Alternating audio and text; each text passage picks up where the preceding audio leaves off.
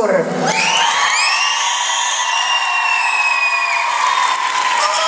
Questo stato sta Ucraina Victoria Mazur.